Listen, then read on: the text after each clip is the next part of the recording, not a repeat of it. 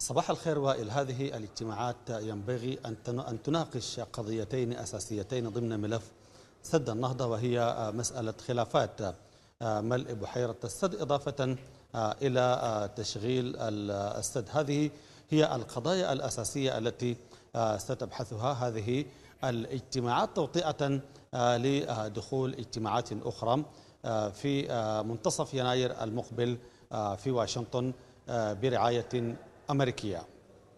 طيب فيما يتعلق بسبل الاتفاق بين الدول ووزراء الري تحديدا بين الدول الثلاث هل هناك تسريبات أو معلومات تقول بأنه ربما تكون هناك تنازلات أو اتفاقات جديدة على غرار التي ذكرت في الاجتماعات السابقة؟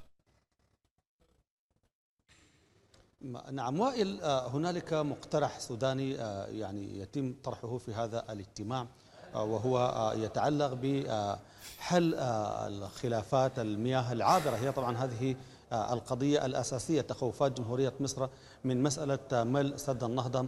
هي أن تؤثر في إيرادات المياه إلى مصر وبالتالي هنالك ورقة سودانية مطروحة تناقش في هذه الاجتماعات المغلقة. الآن طبعا هنالك مقترح بأن يعتمد على هيدروجينية المياه الواردة إلى بحيرة السد. ذلك يعتمد على كمية الأمطار التي تهطل في الهضبة الإثيوبية وبناء على المقترح السوداني يتم تقدير حصة المياه العابرة في كل عام. طبعا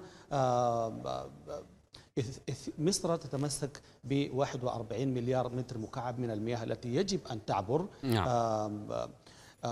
إثيوبيا تتحدث عن 31 مليار والسودان يتحدث عن 35 مليار متر مكعب. هذه الورقة السودانية ستجعل أن كمية المياه العابرة مما يؤمن إمدادات مصر يجب أن تعتمد على كمية المياه ما يعني عمليا حسب حديث أحد خبراء المياه من الجانب السوداني.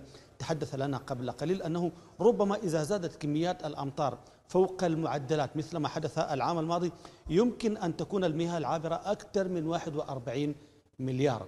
وبالتالي عندما تنخفض المياه عندما يكون هنالك شح كبير في المياه تتم المعادلة وفقا للحد الأدنى أو الحد الأعلى لمصالح مصر من الكمية المياه التي ستصل وضمان ما يجب أن يكون موجود في بحيرة السد.